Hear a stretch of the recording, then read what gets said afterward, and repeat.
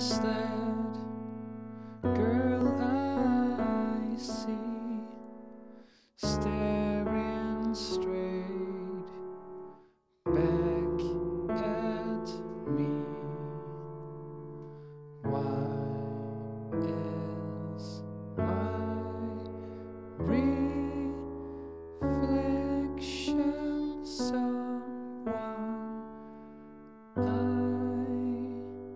don't know. Somehow I cannot hide who I am. Though